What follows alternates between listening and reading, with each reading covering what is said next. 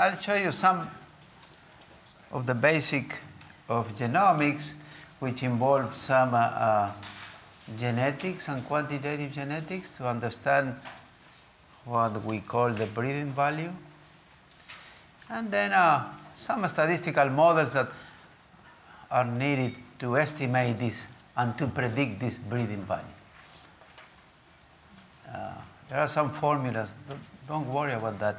The idea of the genomic is the one that I more or less explained, and already Jessica explained to you what is why genomic selection.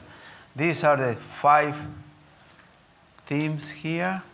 The basic quantitative genetics, how to predict breeding values, models for G by E, and then some results, actual results in CIMMYT in wheat as well as maize.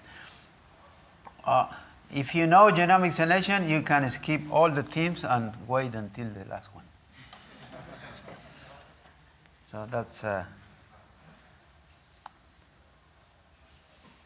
why genomic selection, like Jessica said, is uh, basically this is the formula. You see, I need to use my glasses because I don't see unless I. This is a formula for the annual rate of genetic gain. This is the accuracy of the prediction. We represent the breeding value as U, and this is the predicted breeding value, and this is the correlation between the observed and the predicted ones. This is the, uh, standard uh, genetic standard deviation. This is intensity of selection and these are the generation interval.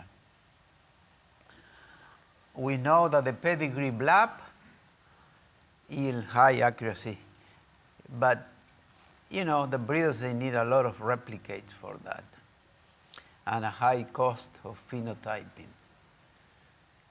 and increase the generation interval. So all is here. So when we increase this, you know, the, the genetic progress decrease.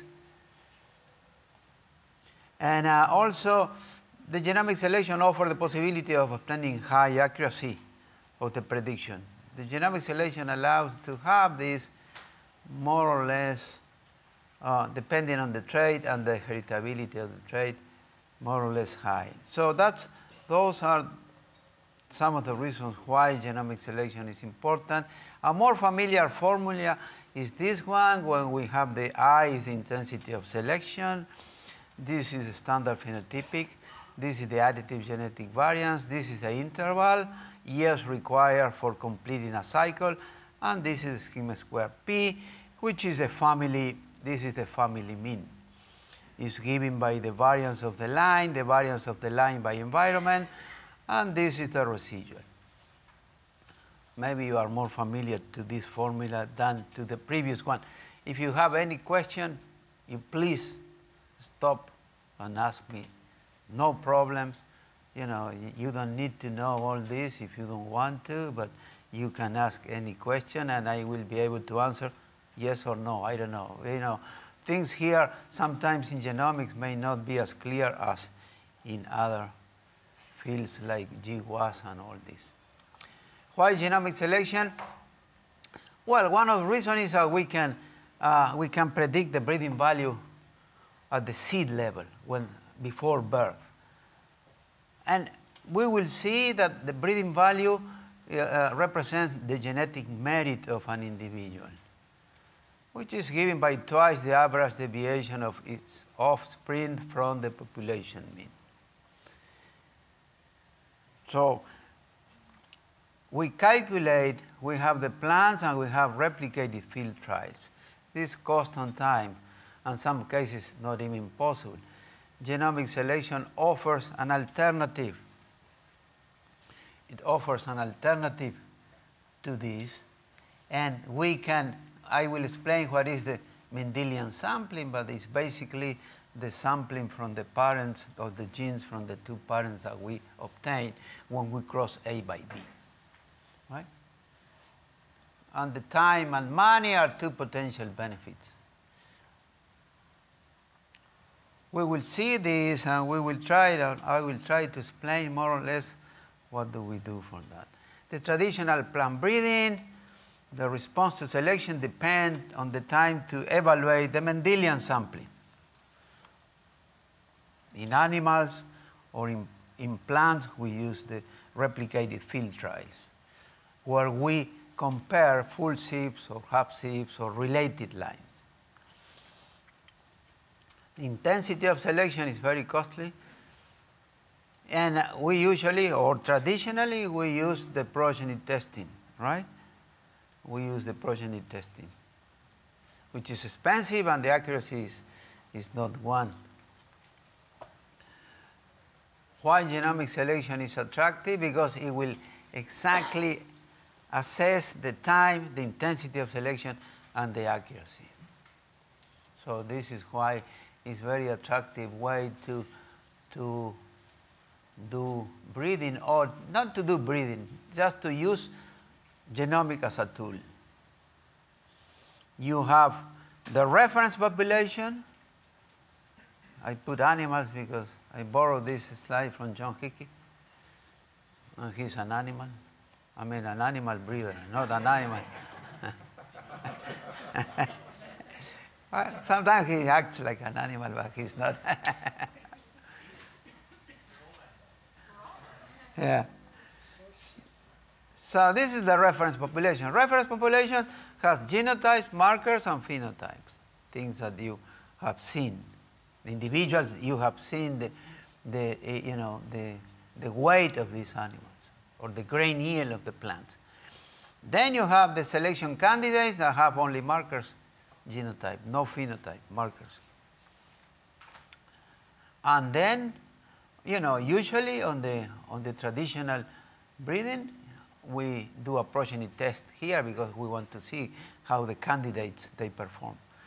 In genomic selection, we develop a, an equation here, a prediction equation, based on these phenotypes and on these markers here and here, we develop a equation, a prediction equation. We, we predict the breeding value, and then we select the animals or the plants with the highest breeding value. Well, it looks very simple, but it's not like that. But genomic selection, well, you know, there's nothing magic here is used for complex trait. For simple traits, with a few genes, you don't need very sophisticated or very many markers. But usually for complex trait, grain yield is a complex trait, low heritability, high marker density, assuming the markers are cheap. Sometimes yes, sometimes no. Uh, only genomic selection only few cycles because has been shown that genomic selection decrease genetic variance very rapidly. Will never substitute phenotypic selection because when you do phenotypic selection, you, you, you select for everything. You select for epistasis, for all gene effects. And uh, it's not, uh, it's not possible to beat phenotypic selection. You can beat phenotypic selection by unit of time. Because you, you don't do the progeny test, you do the marker and use the markers and select. So you save a year. And you know, the precise phenotyping across environments is fundamental. So I say this because, because you might, you know, uh, finishing the workshop and say, oh, genomic selection is a miracle. No, it's not. I mean, it's, it's another tool. And it's very useful. At least for SIM, it has been very useful. So this is the first theme. Okay? If you have any question, you can ask now because I'm going to go now to the next to the next subject. Something on quantitative genetics um, and uh, on quantitative genetics and uh,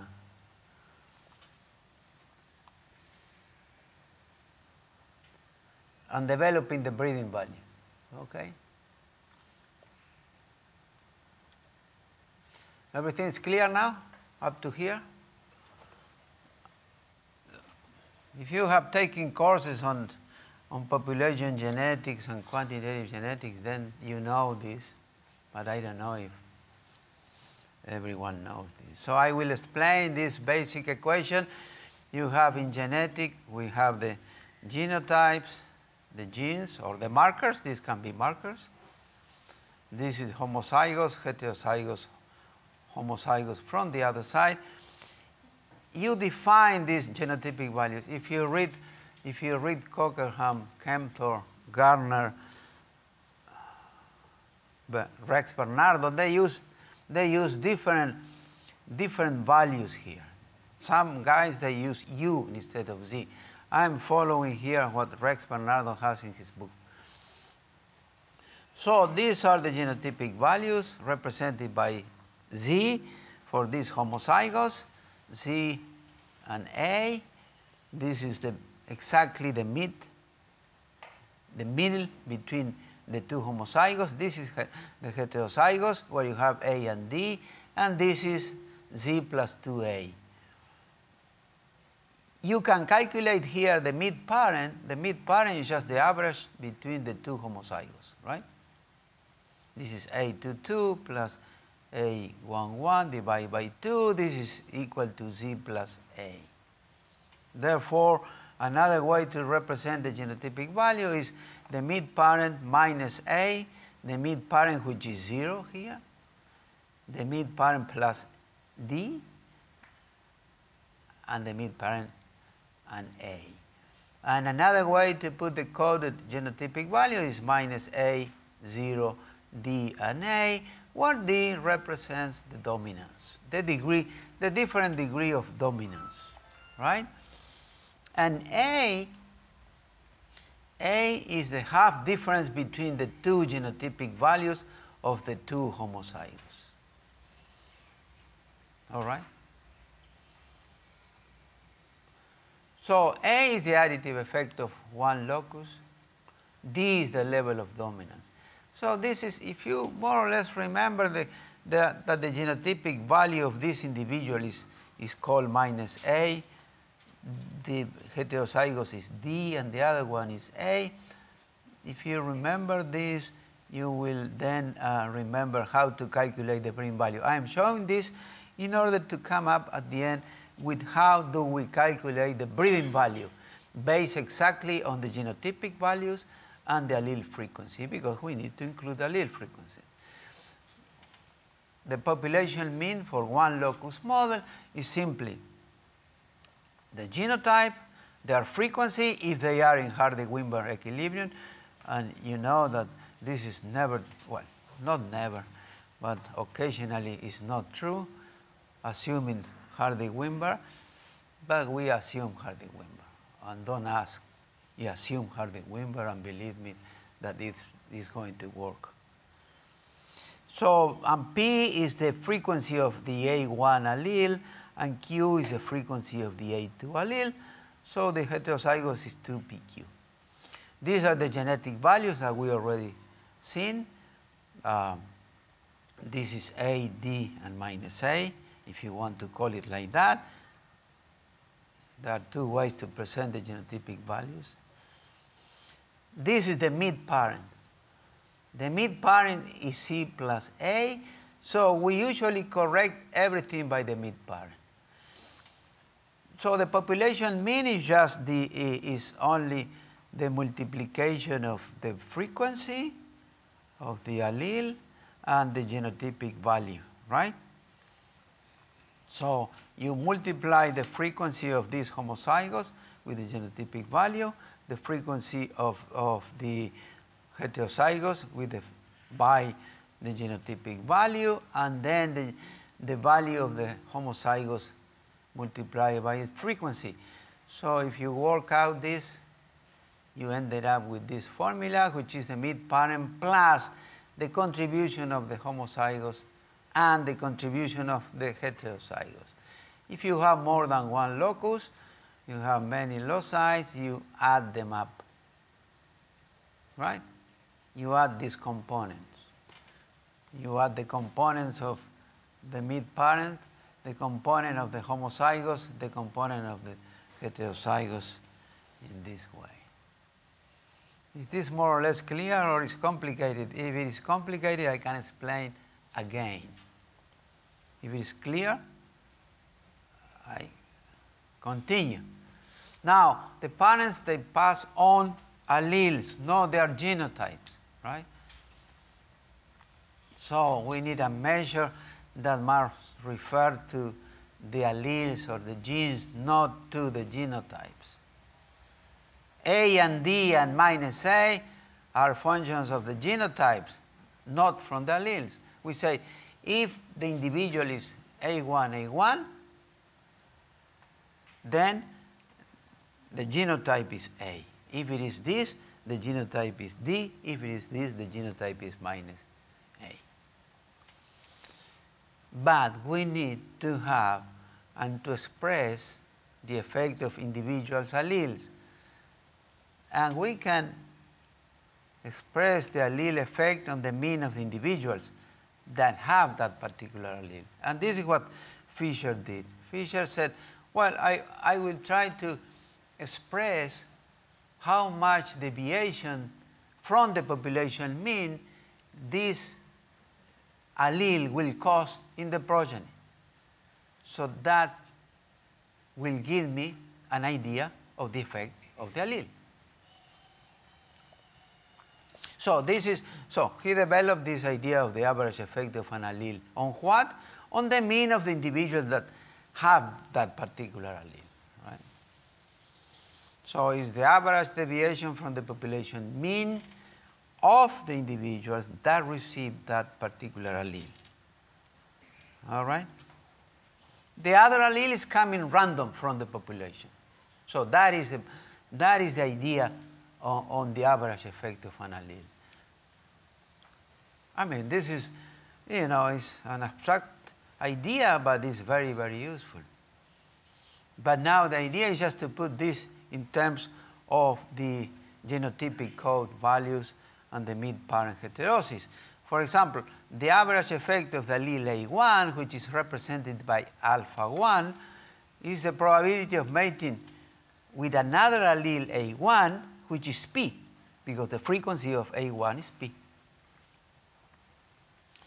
And the resulting genotype A1, A1 has a genotypic value which is the mid-parent and A, because it's A1, A1.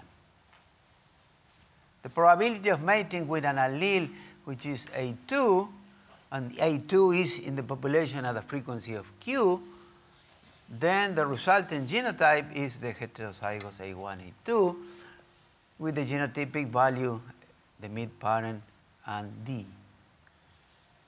And the same, the same with, um, so then the mean genotypic value of the, of the offspring will have represented by alpha 1 and is, is this quantity, this genotypic value by, by the probability, this genotypic value by the probability, and this is equal to alpha 1, the mid parent, the effect of, of the allele frequency of A1, and, and A, which is the uh, genotypic value of of the homozygous, and this is the heterozygous. So this, this is a representation of the average effect of an allele, right? The same with allele A2. It can be done exactly the same. Then we can put all this into this equation, right? Because the average effect of allele 1, we should express this as a deviation from the population mean, which is this one that was what we have found before. So the average effect of the allele 1, A1 is Q multiplied by alpha. And this alpha is this quantity. And remember this quantity. Remember this quantity. Because this quantity is called this alpha quantity is called the effect of the allele substitution that we will see now. And the same with the average effect of A2. We can express that as an alpha 2, which is minus P alpha. Okay? So the average effect of an allele depends on the genotypic value, A and D, and depends on the allele frequency. So that, that is population dependence, you see. Because one population may have one allele frequency, other population may have another allele frequency. So we might have different allele frequency for different populations. So the mean change that is produced would be the average effect of an allele, a gene substitution. So this is, this is the other concept that, uh, this is the other concept that uh, Fisher developed. I'm sorry, I, I passed this slide. So the average effect of an allele is therefore, not, is therefore not only a property of the allele itself, but it's a joint property of the allele and the population in which that allele is found. The average effect of an allele substitution is, well, it's similar to the average effect of an allele, but it's when we, we substitute an allele. When, when the breeder goes and said, no, I want that plant and that and that and that, is doing exactly this. Is doing an allele substitution because is is is replacing something for something. When the breeder will say, I'm going to cross this with that, is exactly replacing alleles from one parent or from one population you know, to the other one.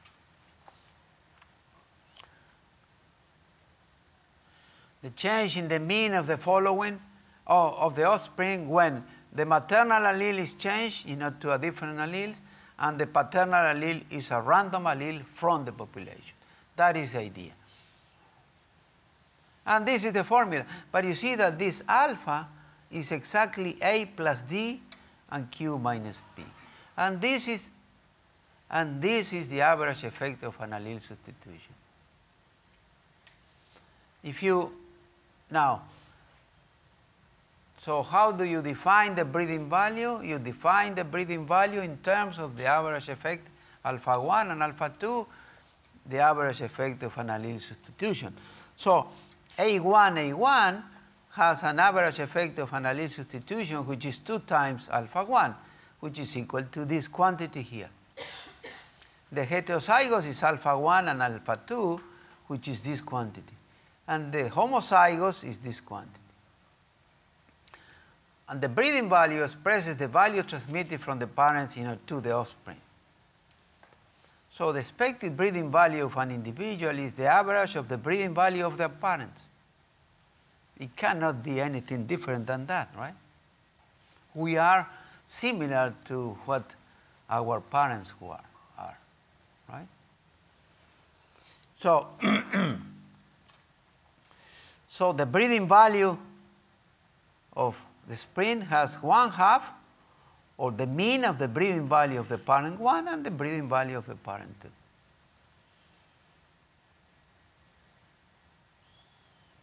Now this this quantity here that I showed before, this quantity here, A plus D and Q minus P, can be obtained doing this linear regression as an average effect of an allele substitution. And you can see this in, in Falconer page number, I don't know, 51 or something.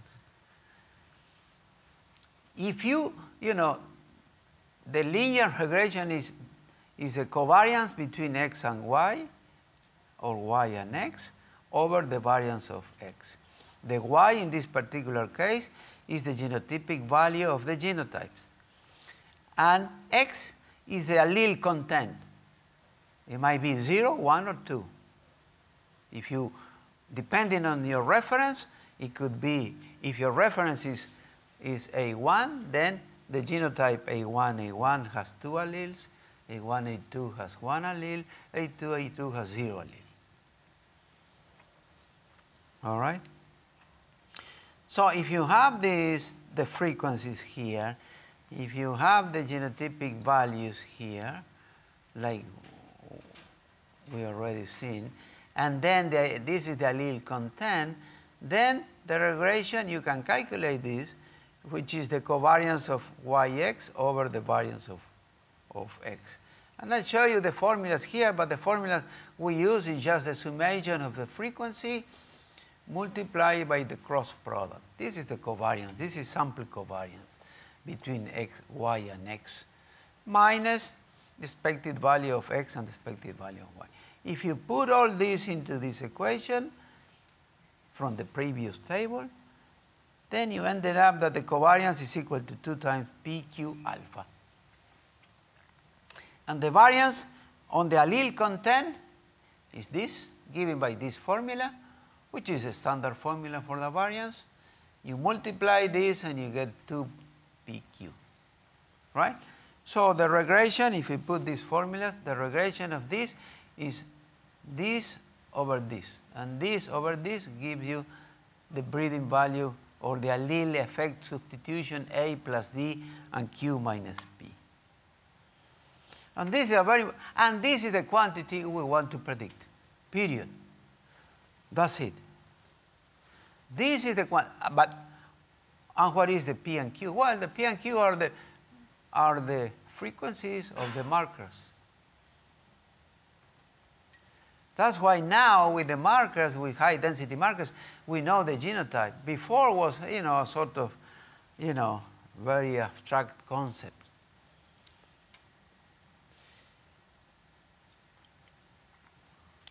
So the basic genetic model can be represented by this. You have the genotypic value of A sub i, A sub j, which is equal to mu and the genetic effect. But the genetic effect is the summation of the breeding value of the parent i and the parent j, plus a deviation here that might be due to dominance or other genetic effect. But so this small uh, genetic, uh, this genetic effect G sub i j is equal to the summation of the allele substitution due to parent i and to the other parent and the deviation. When you have two locus, you need to add this. So you have this effect for one locus, this effect for the other locus with the other deviation. This particular may be the epistasis, but we don't talk about this. This is a formula that you have seen in Falconer many, many times. What do you have here? Well, here on the y-axis you have the genetic value, A, D, 0, and minus A. Those are the coded genetic values, right? What do we have on the x? This is the allele content, 0, 1, and 2. This is the homozygous, heterozygous, homozygous on the other side. And these are the, uh, the frequencies, if assuming they are in Hardy-Weinberg equilibrium. This is the, the regression of the allele content. This is the breeding value, the, which is regress on the, on the allele content. And this is the coefficient of regression, which is giving exactly the breeding value of that individual, which is a covariance between this and the variance of the x-axis, which is given by this formula, and this will give you exactly this uh, uh, breeding value. Alpha is the additive effect of the gene, also known as the average effect of allele substitution. Now, alpha captures part of the variance generated by the dominance, because the dominance is here. And it depends, and you see that depends, the breeding value depends on the allele frequency of the population and depends on the genotypic frequency. So it's very, it's very population dependent, right?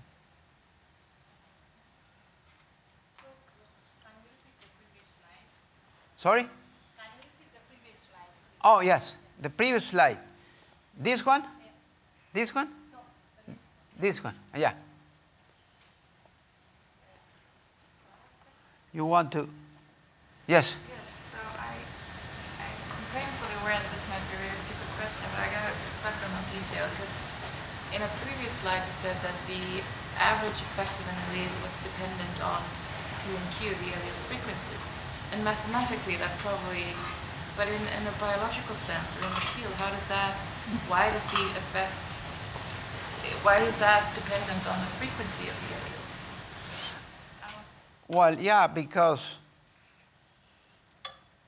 because you might have, let's say, you might have one population of individuals which are coming from one cross A and B. And you might say, okay, this is, this is my population, and, and, and has, this particular population has no structure because it's A and B, and you have the cross at the F2, 3 level. Now, if you have, but now, so the alleles, they might have certain frequency there. But if you have another cross, C by D, they might have different allele frequency depending on the parents. But would that imply that the, the average actually doesn't involve only that allele, but that there is actually sort of No, it, it involves the alleles for all the markers, for all the, for all the genes. Imagine if it's fixed, then it has no effect, right? If it is fixed, one allele is one, the other one is zero. From the biology point of view, plant to plant communication, systemic acquired resistance, salicylic, salicylic acid, communicate. So, it answers your question. You, you, you have, you know, you, you change the allele frequency by doing selection, right? And the breeders, they do that. Uh, so it's, it's a population dependent. That doesn't mean that you need to then, then you say, well, how do I do this in real practice? I'm telling the concept here that is, is the breeding value, the thing that we want to predict is affected by, obviously, by the structure of the population, yeah, no, right? And, uh, and, uh, and, if you add, and also of the genotypic value, but, but it's a joint effect. It's not uh, something that you, you say, well, this is, if some of the alleles are fixed, well, if some of the alleles are fixed, P is 1 or Q is 1 and the other one is 0. But this is for one gene. When you have multiple genes, then you, then, then you have this for each of the cases. Right? So it's not exactly, you know, conceptually this is important because sometimes you might have, when you look at the markers and you do, you do a sort of uh, decomposition of the marker matrix, you see two groups or three groups. You don't see one group of, of individuals there. So the markers are telling you that you have two or three populations there, different ones. I don't know. You know, if you if you mix if you mix population and you have population one, two, and three, and you put and you marker all the populations, you are gonna distinguish those very very clear in the in the heat map. That doesn't mean that you need to separate each population and ended up maybe with three individuals here. No, this is the concept, this is the conceptual part of the breeding value that, the one, that we want to predict. That depends on the allele frequency of the population and depends on the genetic value of the population. Okay? You, you wanted to see this? Okay. So the breeding value The additive values in G represent the average additive effect of a gene. One individual received from one parent from both parents, half and half. So each parent contributes half of the genes, and this is this sort of transmitting ability is one half of the additive genetic value. Okay? Now, the breeding value itself has two, has two components. One is the, the, uh, the alleles we receive from my, pa- uh, my mother and my father, right? But the same for my brother or for my sister, the same. So this is the average of the parents, of my parents. But then there is another component which is the Mendelian sampling because not my brother is different than me, you know. And that particular Mendelian sampling is important in, in, in genomics. So the breeding value of, of the ith individual is given by one half the breeding value of the mother and father and a deviation which is due to the Mendelian sampling. So A, the breeding value of mother and father, they, they are called the parental average. And M is the deviation of the breeding value of that individual from the average of the breeding value. And this is called Mendelian sampling. Okay? So let's, let's talk about these two components a little bit now. The pedigree relationship will capture this parental average. And it's captured in this metric that is called A, which is a numerical relationship metric. That is built using the pedigree. And it's the relationship between each pair of individuals. You know, the breeders, they use a nomenclature to say, this individual is coming from the cross A by B. And then they, they self the cross, so they put a, something there, a sign saying this is the cross.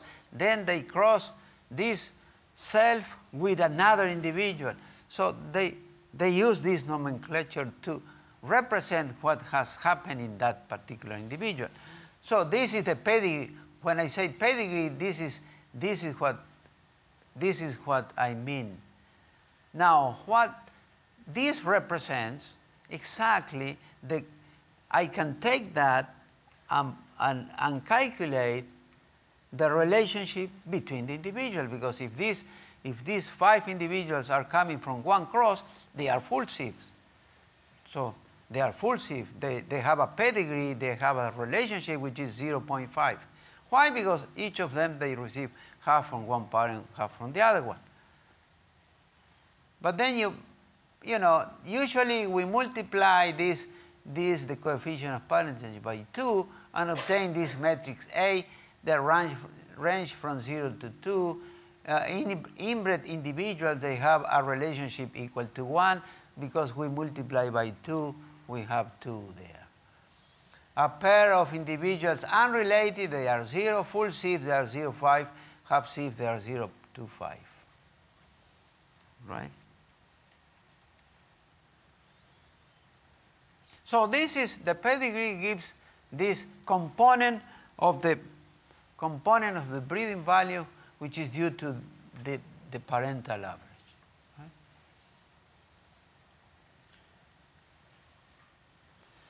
The Mendelian sampling, well, the Mendelian sampling is exactly is a sampling process that implies that each of the parents they passes one half of their genes, but but in each meiosis, you know, not exactly the same material will pass by.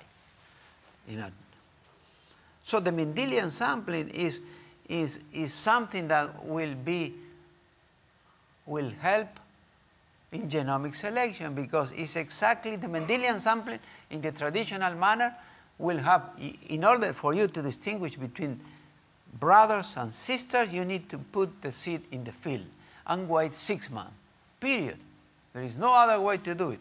With the markers, you, you can account for the, this Mendelian sampling without having to go and put the seed in the field. And the Mendelian sampling is this. Let's say you have, we have a,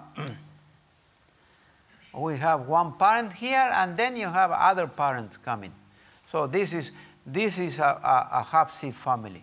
This is the child one, two, three, and four. This is why, you know, this is why I'm different from my brother or from my sister because, because we are not the same, although we, we are half sibs. Right? And in theory, you can have sibs that are genetically un unrelated in theory. So the, gen the, the genomic relationship, you know, some individuals are more equal than others. Even even if the additive genetic relationship is the same. You see, these are the half sibs, these are the full sibs, these are unknowns, but the half sibs, they are not exactly 0.25. They, there is a range of individuals. Now, if you have only the pedigree, you might have different values because the parents may or may not be related. And that is why the half sibs are not exactly 0.25. This is why the full sibs are not exactly 0.5 because if the parents are related, they will be you know, higher than 0.5. If the parents are not related, they might be 0.5 or less. So the actual half-sib relationship, but you see, these are relationships. These are the relationship between the individuals. Because here, I mean, breeding is, we select the progeny of individuals that that are related. in this generation are the parents, and these are the progeny. I mean, we, we don't say, these are the parents, these are the parents of other individuals. What is the relationship between them if the parents are not related? Zero. So the breeder say, no, no, I cannot, I cannot select these parents and predict whatever is happening in another breeding program. Yes? uh, how do you address that? Uh, for example, if you if you have pedigree like A by B, mm. immediately you cross with C, that's like top cross. Yeah. And if you have A by B and inbreeding or F4, F5, F6, and then one line you cross with C. Right. So the pedigree will be the same. No, but you put in, in, in your pedigree, you put the number of, of selfing that you are doing, right? You may have A by B by C, selfing one time, two times, three times. I don't know how you represent this or how the breeders represent that. I, I know because in CIMMYT, in the maize program, they are discussing this, you see, because they don't have a, as clear nomenclature that they have in wheat in CIMMYT. So the maize program, now they are realizing the importance of the, of, of the, of the parental relationship. So they are, but there has to be some sort of, of, of uh, agreement on how you will call this A by B by C and selfing.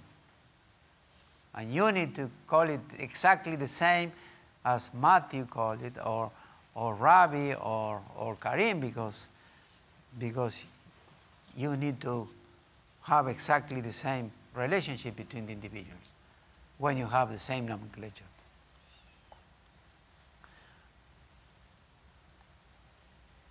This is the genomic prediction. We will see what is this GBLUP, but not now. But I, I give you an example. We have, let's say that we have data on plant 1. This is the plant 1. With progeny, the plant 2 and 3. The plant 4 is unrelated. The plant 4 is unrelated and we want to predict the plant 5. But the plant 5 is a progeny from plant 1. Okay? So, we, we have this A matrix based on pedigree. So these two guys are full sibs because they are coming, well, we assume they are coming from the same, from the same two parents, right? The plant 4 is Unrelated and plant 5 is again family of plant 2 and, and, and 3. Now, if we have this matrix based on the relationship, these are the numbers. Well, here should, I said before, should be 2 here, but, but, the, but uh, the relationship between one individual with itself is 1 the relationship between these two is 0.5 because they are half full sibs. Now, the G matrix based on markers or DNA based matrix may not be exactly the same. And actually, this, the plant 4, maybe is relatively low related with the others that the pedigree does not give this relationship. You see? So the plant B, the plant 4 has some relationship between the others that we didn't know. Based on pedigree, we didn't know. Based on markers, yes. So the BLUPs of these, if you calculate the BLUPs, the best linear unbiased predictor, you get coefficients here, but you don't get the coefficient of, of, of plant 4 because, you know, because you don't have the plant 4. I don't know why it keeps on moving. Your laptop has life by, life by its own. And, uh, but here in the GBLUP, we see that the, the coefficient of the plant 4 is 0.005. You might say, well, but this is 0. Well, maybe no. Maybe no. It's not 0, obviously. 0.0059. 519. So the DNA gives an extra information that we don't have on the pedigree. So, so the BLUP uses the family information. The BLUP using A matrix has the family information. The GBLUP uses the family information and will, will account for the segregation within family. And this is why I said before, the, the markers will give us an idea on how is the variability within a family. The pedigree will tell us how is the relationship between the parents. Okay? And how the information and how the family information is related to the plan number four, which is supposed to be unrelated to everyone else. So the prediction of the breeding value is very important in any, in any breeding program. And method for predicting breeding value depends on the type and amount of information available on the candidate of selection. So, in order to predict the breeding value, we have data from the phenotypic data, data from the pedigree that will help us on the parental average, and also data from the markers that measure the Mendelian sampling of difference between individuals within a family. It was until 2001 that Meuwissen was the first one to show how to use the markers in order to predict the breeding values using all markers, not only markers which are related to the trait. They might not be related to the trait, we don't know, but use all markers and they put and they put the marker into this linear model which is addition. You put this is the additive effect of the SNP. It's linear because you add them up. This is the effect of the allele of the chromosome or the haplotype. This is the marker effect and this is the residual which is taking non-genetic effect. And then uh, Bernardo and Jianming, they published this paper 2007 where they show how by simulation how to using all markers can give a prediction, a good prediction of the breeding value. Now you, now, now you might start asking questions, say, why? Why to use all markers? Some markers are not related to anything. Why you use those markers? They might or might not be related. You don't know, right? Especially for grain yield, you don't know. Maybe for flowering, you know very well, or maturity, but for grain yield, no. So there are various ways doing genomic prediction. You might use A or you might use G. You might use the relationship matrix, or you might use G, or you might use both, A and G. So this is a standard mixed model equations for getting the BLUPs using the A matrix, the additive relationship matrix. This is the mixed model. Oh, I'm sorry. What is happening here? What did you do, Jessica? Look at this. Uh, but well, but this is this is But uh, this is a PDF, right?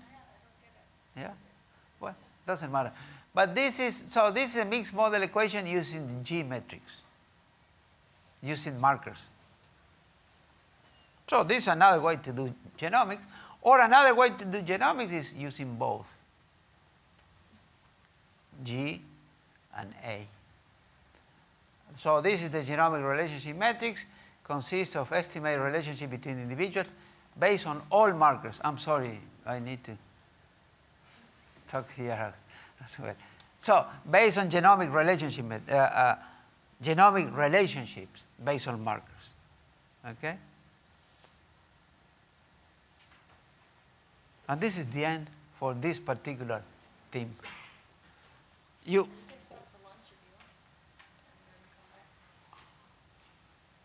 Uh, okay. I will present, next I will present statistical method and some of the complexities for estimating the breeding values when we use a large number of markers. The, you know, the main problem is, I mean, the complication comes because you have more markers than individuals most of the time, right? Because markers are cheap. So you might have, I don't know, you might have maybe a 20,000 markers, but you don't have 20,000 individuals, you have less. So statistically, you cannot use the standard ordinary least square to estimate the breeding value. You cannot because the ordinary least square will say, "Ah, what do I do now? I don't know what to do now. It's like, you know, it's like, okay, I will bring Jessica and Lee order one pizza for all of us like this. wow. That's lunch, by the way. But how do we eat? Well, we take a small piece of pizza and I eat this. Jessica eat a small piece. But if we bring a big pizza, we can eat more. That's exactly what is happening in genomics when you have so many markers that you need to say, no, no, some of these markers, they need to go to zero because otherwise I cannot estimate their effect. They, they must be zero. And some of them are zero. And so that's the, that's the thing that we will see after lunch. You eat- eat a pizza, don't worry about the number of markers.